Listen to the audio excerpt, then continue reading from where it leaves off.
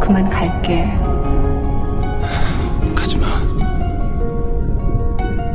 곧 돌아올 거야. 그러니까 거짓말.